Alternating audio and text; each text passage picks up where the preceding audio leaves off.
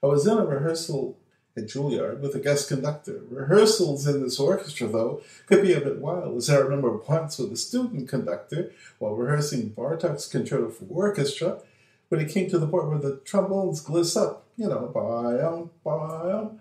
Suddenly, the brass section started to play a famous Sousa march, bum, bum, bum, bum, and the room erupted with laughter, paper being thrown in the air. You get the idea. The dean had to come up and calm things down. Well, back to my story. You see, during a rehearsal, this guest conductor stopped the orchestra, turned to the first violin section, looked at me, and said, Don't you feel strange? I looked at him and said, Are you talking to me? And he said, Yes, I'm talking to you. And I said, No, why? Why should I feel strange?